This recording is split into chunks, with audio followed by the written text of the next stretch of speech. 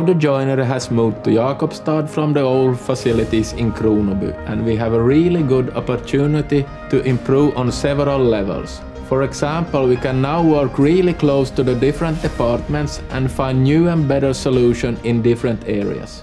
When we sell a boat, the first thing we do in the joinery is to contact our veneer suppliers to check which supplier has the high quality veneer that we need for the project. When we have found a veneer, we often visit the veneer supplier and select only the veneer bundles with the highest quality for our project.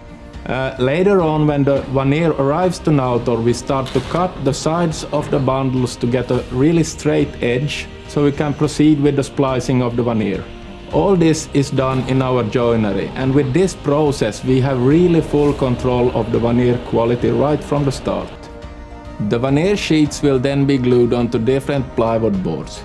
If we have a customer that wants to have a lightweight interior, we use lightweight boards or boards with carbon surface with Nomex core for example. Uh, the CNC milling machine cuts out all the parts that we need for the different projects to get an exact fit of every piece. When the pieces are cut out, the high-skilled carpenters assemble the furniture with the help of the drawings that are drawn in our own technical office. It takes several years for a new carpenter to be really high-skilled. Uh, the surface treatment is also done in our new painting boxes here at Nautor. The wooden interior is varnished and polished with a semi-matte satin finish. The furniture is sprayed with varnish after they are assembled. In this way we get a perfect finish on the different joints that we have on the furnitures. Last stage is final assemble where we assemble all the hinges, drawer rails and other fittings.